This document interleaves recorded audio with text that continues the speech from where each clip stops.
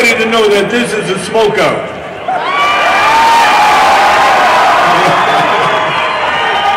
and, uh, you know, four years ago I was in jail for... And uh, I kind of knew that this day was coming. Thanks to Obama, it looks like that they're, the cops are going to get off our back with the medical marijuana.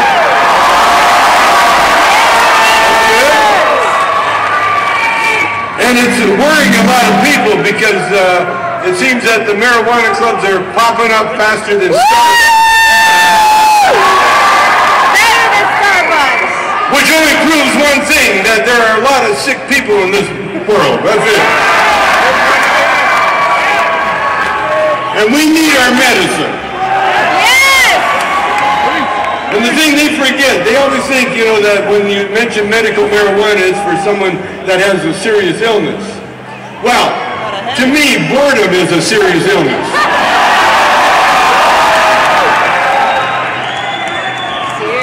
Our next tour, which starts in January, is going to be called Get It Legal. Yeah. Yeah. We, we, the time is right.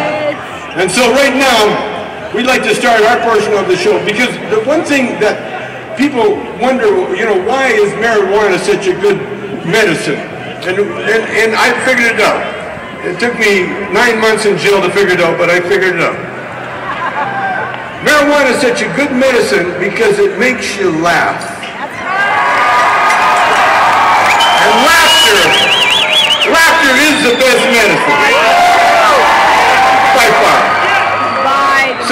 Start our show off and introduce, because it's a musical event, we're going to stay musical. We got a, a, a this young man, he's, he's been, uh, he appeared in Cheech and Chong's next movie. He's Cheech's cousin Red.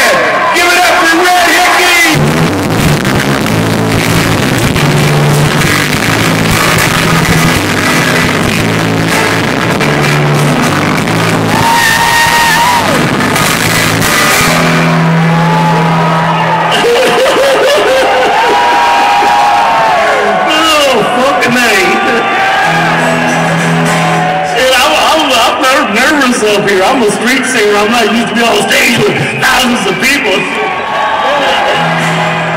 And I'm so nervous you couldn't get a pin up my ass with a jackhammer right now. I'll tell you what.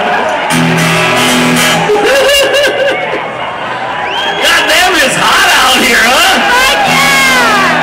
Shit, it, it, it doesn't suit me because I, I get relative humidity. you that's the sweat that forms on your balls when you're doing your cousin, you know.